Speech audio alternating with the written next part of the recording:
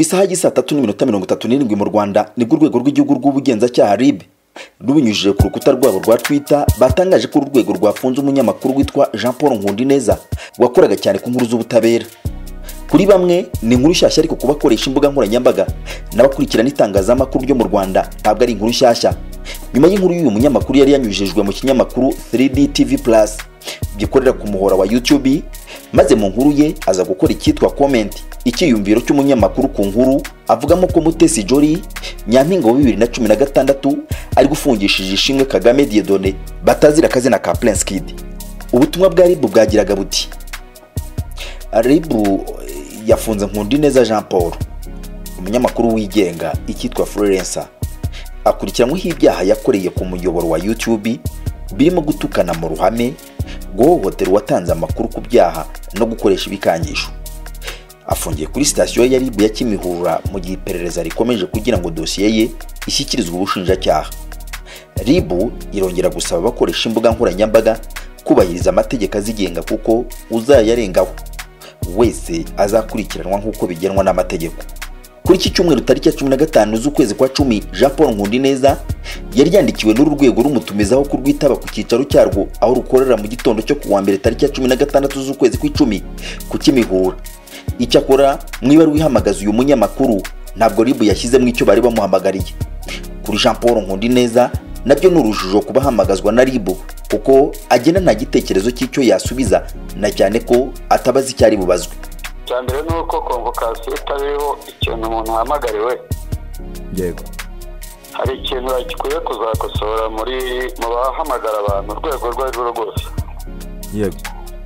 Kera abacuruzi bashyiraga fagitire ngo hasi bakandika ngo icyaguzwe mu iduka ntikisubizwe kandi ubwo wasangaga cyarabaye egisipayadi rero izi konvokasiyo zandikwa zishobora kuba ari yo mu myaka myinshi ishize kuko ni ikintu maze imyaka myinshi so hari icyo zibangamiraho utumiwe se? Kuba byanditse kuri hari icyo bibangamiraho utumiwa utumirwa. Ntabwo bibangamiye jean paul neza. Ye. bibangamiye ahubwo abantu benshi. Nawe ubwawe baguhamagaye utazi icyo uhamagariye byakubangamiye biri sipu kuko n'ubundi baba bakugezeho bakaguha iyo hamagara. Ushobora kukubwira bati birakekwaho ko imodoka yawe yagonze umuntu ikiruka? Yego. Uzaze wita ubusobanuro uvuge ko atari iyawe yenda zisa. Yego. Kandi ibyo byo birasobanutse ntabwo bigarukaho ubwo kandi ubutumwa burahise buriya mu nama zindi bazabigenzura hari mu kiganiro twagiranye ku murongo wa telefone. Naho biruka ariko umunyamakuru yamubajije niba ntacyo akeka uru rwego rwaba rumuhamagarije. Mu gihe rumutumijeho ku mbuga nkoranyambaga hari abasaba ko yakurikiranwa ku mvugo yakoresheje mu nkuru ye yo kuwa gatanu w'itariki cumi n'eshatu mu kwezi kwa cumi ubwo Prince Kid yakatirwaga gufungwa imyaka itanu n'urukiko rukuru maze uyu munyamakuru yumvikana mu nkuru ye yikoma nyampinga wa bibiri na cumi na gatandatu mutezi jori avuga ko ari gufungishije ishimwe diyedone mu mugambi wo kugira ngo amutware ikigo cyateguraga aya marushanwa ya Miss Rwanda. Mu gusubiza iki kibazo Jean Paul yavuze ko biramutse ari byo ribyo muhamagariye byaba binyuranye n'ibiteganywa n'amategeko mu Rwanda. Kuko iryo ryaba ari ikosa ry'akazi kandi uburyo bukurikizwa mu itangazamakuru ukurikije amabwiriza agenga itangazamakuru mu Rwanda mu gihe umunyamakuru akoreye ikosa mu kazi bihanwa kandi bikabazwa n'urwego rw'abanyamakuru bigenzura RMC kuruta kuba byahinduka icyaha gikurikiranwa na RIB Eh, biramutse ari byo. Mm. ntekereza ko atari ribu yakampamagaye wahamagarwa nande? Eh, biramutse ari byo. Yego. Icyo najya nkubwiye ndatekereza ko atari ribu kubera ko eh, hari porosedire z'umuntu wakoreye amakosa mu mwuga w'itangazamakuru. Mhm. Eh, rwanda media commission niyo igenzura. Keretse iyo yaguhamagaje ntimwumvikane cyangwa se ukanga kuyitaba kuko na yo hari ubwo ihamagara abanyamakuru kugira ngo babaze eh, ibyo bavugiye mu biganiro si nanjye gusa. Mhm. Noneho icyo gihe iyo mu myanzuro mufashe binaniranye yego bandikira ubugenzacyaha cyangwa izindi nzego dosiye bakayishyikiriza. Ariko biramutse ari ibyo ubwo hagati y'itangazamakuru ry'u rwanda na rwanda media commission yaba ari nko mu isi n'ijoro ubwo ya- ubwo rwaba ari urwego nyine ruri aho rumanitse ahantu mu kirere rudafite ahantu ruhuriye n'umunyamakuru. Kubera yuko imwe mu mpamvu urwego rwabayeho ni uguporoteja umunyamakuru mu gihe yaba yakoze inkuru ishobora kuba ifite aho ihuriye n'ibyaha runaka babanza kubisuzuma akabyisobanuraho hanyuma dosiye ikajya muri leta gusa. Ntabwo ari byo ntekereza ku gipimo cya mirongo itanu ku ijana. Ariko hano ibindi nkabitekereza kuko ubwo nimva yo ndibuze kumenya aho icyo bashakira ariko na byo byashoboka bwana jean paul aravuga ko atari intungane ko ibyo yakoze ari ugusitara mu mwuga maze ati naho nakosa ariko hakosa ukora icyakora akisegura ku bamwumvise avuga ko bamwumvise nabi kuko interuro yahawe uburemere hari aho yavuzemo ko jori waharaniye ko kidafungwa birangiye amugaritse ati nibamuguhe umurye aha jean paul nkundineza akavuga ko abamwumvise bamwumvise nabi bakabikuririza bavuga ngo yaravuze ngo ni ukumuha kidi nyamara nyir'ubwite we agasobanura ko yari yavuze kumuha umushinga wa kidi yari yaraharaniye yo gutegura amarushanwa y'ubwiza bw'abakobwa bo mu rwanda. Naravuze ngo amaze imyaka myinshi ashaka uriya mushinga witwa rwanda inspiration backup ntawutwara burye. Ntabwo nabonye ku mbuga nkoranyambaga baguruka cyane ntabwo navuze just kurya umuntu. Aha ni ikibazo cy'ikinyarwanda. Za mvugo zacagaho kuri radiyo bavuga ngo ntibavuga bavuga. Bazazigarure ubu se uyu munsi uvuze ngo jean paul ribu yamuhamagaye harahiye koko? Haba hahiye ibyo se n'ijya ubizana ah ufite wavugaga kurya umushinga apana kurya kidi? Oya oya oya kurya kidese ni? Iki barabeshya ku ruhande rwa rmc bavuga ko jean paul ibyo yakoze ari amakosa. Ariko yaganirwaho na rmc kuruta kuba yakurikiranwa na rib bwana emmanuel mugisha ni umunyamabanga nshingwabikorwa wa rmc aha tuvugana hari mbere y'uko jean paul nkundineza atabwa muri yombi avuga ko bari kubiganiraho na rib kugira ngo barebe uko babikemura. So kugeza ubu ngubu nari ndimo nshakisha ukuntu naba intashini ari kugira ngo tumenye situation yo guhamagazwa kuri kubera ko nabonaga kuri social media nabivugwaho cyane. Ariko ntabwo turi establishinga nuza iyo conversation kugira ngo umenye ko bimeze. Hanyuma ku bijyanye n'uko warumbajije ibyo yatangaje ibyo ni amakosa akomeye cyane. Ngira ngo no mu cyumweru gishize nagiranye ikiganiro nawe Eh, nari nzi yuko natwe uyu munsi turi bumuhamagaze kugira ngo azasobanure ibyo yakoze nuko nyine hahise habamo iyo konvokasiyo ya ya rib. Kandi ko mu mategeko iyo umuntu ahamagajwe n'inzego cyane cyane zigamije ah, ibyaha mpanabyaha ibindi byose muba mushaka kumukurikiranaho birahagarara. Nibyo bita prinsipe ishobora gushyira ah, mu mategeko. Prinsipe ishobora gutuma izindi pursuit ku muntu zihagarara mu gihe hari pursuit ya criminal procedure cyangwa se by'amategeko mpanabyaha naho biri uko ubutumwa bwa rib bumenyesha ifungwa rya jean paul buravuga ko yazize ibyo yatangarije ku mbuga nkoranyambaga kuruta kuba ari ibyatangajwe mu itangazamakuru nk'idirishya ry'irembo ryakemerera rib gukurikirana uyu munyamakuru nk'icyaha yakoreye muri kamere n'agatwe ka muntu ku mbuga nkoranyambaga kuruta kubikorera mu mutaka w'itangazamakuru. Amategeko agenga itangazamakuru mu rwanda ntarabasha gusobanura neza ibinyamakuru bikorera kuri murandasi aho usanga ibikorera ku miyoboro ya web. Byemerwa nk'ibinyamakuru ariko abakorera ku muhora wa youtube ufatwa nk'umuyoboro w'amakuru mu majwi no mu mashusho kimwe na televiziyo zisanzwe ariko nyine ugasanga hatarafatwa nk'umuyoboro w'itangazamakuru. Ni nacyo kandi abayobora inzego z'itangazamakuru bagarukaho cyane iyo ibihatangarijwe byatangajwe n'umunyamakuru maze bakavuga ko abagomba kubahiriza amahame y'umwuga w'itangazamakuru icyakora bigahinduka uruvangavange kuko kuri uyu muhora hari n'abahakorera badategetswe kubahiriza amahame y'itangazamakuru ahubwo bakawukoresha nk'uburyo bwo gutanga ibitekerezo. Ibi nta ni byo bisubirwamo n'impirimbanyi z'uburenganzira bw'abagore zari zumvikanye kuva ubwo jean paul nkundineza yamaraga gukoresha ariya magambo maze basaba kubimuryoza nk'umunyamakuru uri kwangisha uyu watanze ubuhamya ku cyaha. Ariko we akaba ari gukoresha imvugo zimwangisha rubanda ndetse no kumubonerana kuko ari umugore. Madame sanga sylvie ni byo yagarutseho mu kiganiro twagiranye. Nabyo hari imbere y'uko jean paul nkundineza atabwa muri yombi. Nta kintu mfitanye nawe nta- bifu mfitanye nawe. Njye mfitanye bifu n'amagambo ye yavuze agomba kuberaho accountable. Mu by'ukuri njyewe nkaba nsaba ribe ko ibikora nk'intangarugero kubera ko twirirwa dutukwa online ntabwo ari bwo bwa mbere jori atukwa the way na buri muntu wese. Ariko noneho bigeze aho umunyamakuru afashe mikoro agiye kuri cano yiwe. Kameme. Ibi bintu nibabireka ni ukuvuga n'urwo rubanza ntacyo rumaze. Nimba twavuga ngo umu- kubera ko justice is, is not individual is collective. E- ese ese mama nsanga? niba joli atabonye justice turi gushakira justice bariya bakobwa ni ukuvuga bariya nibo bakwiriye justice nawe ukwiriye justice. Ese mama nsanga? Uh, muri justice sociale abantu ntibemerewe kugira amarangamutima nyuma y'inkuru zari zivuzwe ko jori ari we wabaye umugambanyi wa kidi kugira ngo amutware iriya kampani rwanda inspiration backup.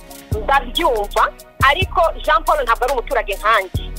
Jean paul ni umuntu navuga w'igitangaza ku muturage kubera ko umunyamakuru ni umuntu uza akadutangariza. Akatubwira naganiye n'aba bambiri naganiye n'aba bambiriri nashaka yasigira public opinion yayo ariko ntabwo ari wowe waza afata iya mbere agumura abantu kuri jori utya ni uguteza jori umutekano mukeya kandi nkaba nsaba ko umutekano wa jori ucungwa kubera ko nabonye ko afite abanzi benshi. Dufite abanzi benshi ariko ndashaka by'umwihariko umutekano wa jori ariko se jori fata iyo audio yiwe from the beginning to the end. Ikimbabaza actually ni mwebwe mureke jean paul n'abandi bose babyuzinga abantu. Nimba abantu mutabona ko this is a crime. Is calling people. It's a propaganda. Irimo irakorwa kwanga jori jori se ejo bundi ahuye n'umuntu aka- aka- akanamukorera nabi. Ubu ngubu mwavuga ko mutabibonaga kazungu ahangaha ntabwo bamuvanyemo ngo nta binoza babonye. Cyagiye ariko mureke kubebisi- eh, crime. Until the community understand ko crime ari crime ni mama y'imana niba mushaka mwese n'umuntu watukaga jori na- namusaba imbabazi umunyamakuru usanzwe ukora inkuru zicukumbuye mu rwanda samuel beka biansi nyuma y'uko uyu munyamakuru atawe muri yombi yanditse ubutumwa kuri twitter nako x. Anenga ifatwa rya jean paul kuko yavuze ko bitesha agaciro itangazamakuru ryigenzura ndetse bikaba byateza umurindi igihunga ku banyamakuru batinya gukora inkuru mu bwisanzure kuko amakosa bakora mu kazi aba azahanwa na rib binyuranye n'icyo urwego rushyiraho itangazamakuru mu rwanda rubiteganyaho ibi bavuga ko byanatangiye ndetse bihindurwa nk'ibisanzwe mu bigo bimwe na bimwe by'itangazamakuru aho abanyamakuru bibuza gukora inkuru batakuwe n'umwe kubwo kureba mu kinobori cya bihehe akamenya uburibwe bwa bihehe yagize ubwo rwara yarinoboragamo yasabye ko abayobozi bagomba guhora barinda uburenganzira bw'abanyamakuru bakurikije amategeko arigenga imbere mu gihugu ndetse n'amategeko mpuzamahanga. Umunyamakuru nkundi neza kuri iyi nshuro yavuze ko kuba yafatwa kandi agafungwa na ribu birimo igisirimu ugereranije n'ibyigeze kumubaho we yise ugushimutwa. Ibi akabihuza no kuba ribu ari urwego ruzwi kandi bizwi na buri wese aho uwo bafashe bamufungira ndetse bakanamenyesha abo mu muryango we. Ni na byo nababwiye bampamagara ubundi cya gihe mwazaniraga ikizazigo Byari. cya gihe mbere. Cya gihe ryari? Buri gihe mu kwa kabiri mariya iminsi mutazi aho ndi. Ariko igihe ubu byavugaga ko wabura iburengero byavugwaga yego. Ntabwo mbizi. niba utabizi. Ubu- ubwo abari bantwaye bo barabizi yego.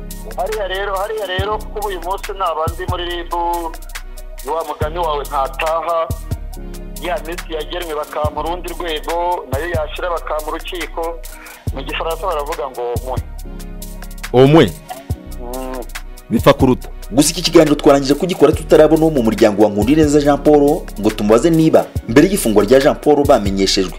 Gusa ubu ni bumwe mu buryo rib ikurikiza ndetse no kubitangaza ku mbuga nkoranyambaga zabo bamwe bakabibona nk'uburyo bwo kumenyesha umuryango mugari ngo ejo batazabaririzaho umuntu waba ari kandi riba ry'imufunze mu kwezi kwa kabiri k'uyu mwaka umunyamakuru jean paul nkundineza yari yaburiwe irengera abo mu muryango we batangira gutaka babaza ko umuntu wese waba uzi aho umuntu waba aherereye yabarangira. Icyakora yaje kugaragara nyuma y'iminsi ine nta n'umwe wabashije kubabwira aho umuntu wabo yaba aherereye. Yaje kuboneka nyuma y'iminsi ine nk'uko mbigarutseho inkuru zifatwa n'ifungirwa ahatarabwiwe abo mu muryango we akaba yaraje kuzibara nyuma y'uko atashye ashize impumu ku cyamwirukansaga. Haba mbere y'uko afashwe ndetse na nyuma yaho gatoya jean paul nkundineza inkuru ze zatambutswaga ku muyoboro wa jaras official. Ari naho yaje kubara amagenzi ye nyuma y'igihe yari amaze ataboneka.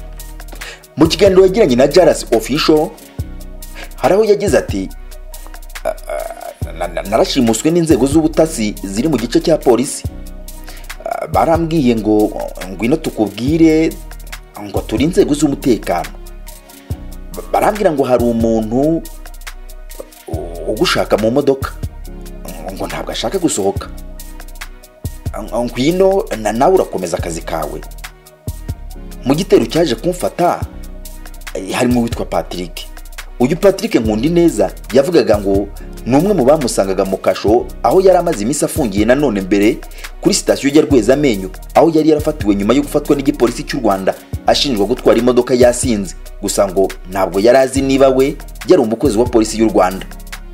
Ngo nubwo aba bapolisi bamufataga bamwambitse amapingu yanditseho rnp mirongo irindwi na kane akarongo gatambitse mirongo irindwi na gatanu. Bamujyanye mu nyubako y'umunyemari iherereye mu karere ka gasabo mu igorofa rya gatatu cyangwa irya kane. Ari naho bimuriye icyicaro cya polisi cy'umujyi wa kigali bivuye hafi ya stade amahoro. Yabajijwe impamvu avuga ko yashimuswe maze nkundi neza asobanura ko ari uko ubwo yambikwaga amapingu atigeze ahabwa urupapuro rusobanura ifatwa rye kandi no mu gihe cy'irekurwa rye nta bisobanuro yahawe. Yongeragaho ko yafungiwe ahantu hatemewe n'amategeko kuko ngo yanyujijwe mu gikari afungirwa aha wenyine. Yavugaga ko ibibazo yahaswe n'abantu batandukanye bamugeragaho aho yari afungiye byari byiganjemo ibijyanye n'amagambo avugira ku muyoboro wa youtube. By'umwihariko inkuru y'ifungwa rye ubwo yari mu kasho ka rwezamenyo. Inkuru y'ibura rya nkundi neza yatangajwe na mukuru we ku itariki ya cumi na karindwi gashyantare bibiri na makumyabiri na gatatu. Hari nyuma y'iminsi n'umuryango we utazi aho aherereye maze uyu mukuru we nyuma y'iyi minsi na zo avuga ko yari kuwe mu rukerera rw'umunsi wakurikiyeho. Nakibutsa ko uyu munyamakuru abaye wa gatatu mu bafungiye mu mabohero yo mu rwanda muri uyu mwaka.